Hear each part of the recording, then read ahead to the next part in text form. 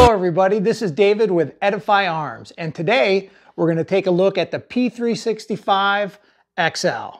So let's get into, it. it. So here you have your SIG P365 XL. Comes in your standard plastic hard case, SIG insignia. We'll go ahead and open it up and see what we have. All right, so here is a bunch of your standard paperwork, user manual, some marketing material, um, so on and so forth. I believe there's a, whoop, yep, there we go. We have a little swag, swag there, a little sticker. Uh, but let's take a look at the pistol because that's the most important part. Go ahead and take it out of this plastic. All right, there you have it. Let me remove that. Okay. All right, so here you have it, guys. P365 XL chambered in 9 millimeter. Now, the P365 line of firearms really did change uh, the firearms industry in a really big way. Uh, when the P365 was introduced in 2018, it held 10 rounds plus one in the chamber. At the time of that release, there were no other uh, subcompact or micro subcompacts that held this type of capacity in 9 millimeter.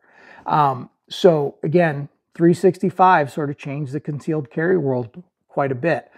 And then they came out with this guy, the P365 XL, which came out in 2019. And this guy has a 12 plus one capacity. Um, it comes with two 12 round magazine, all steel. And what they did was, is they came up with a little staggered loading system. So they were able to fit more rounds into roughly the same amount of space.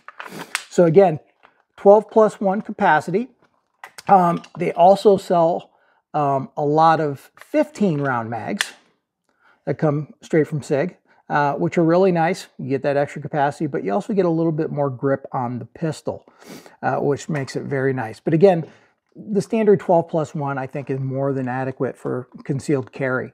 Uh, what's also really nice with this pistol is the flat face trigger. I really, really do enjoy shooting this trigger. Um, it has a really short uptake, crisp break,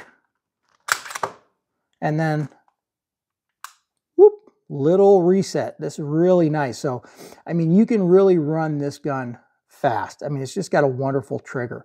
Um, in addition, it also comes with tritium X-ray day and night sights, which are really wonderful right out of the box. A lot of pistols usually get those cheap plastic sights.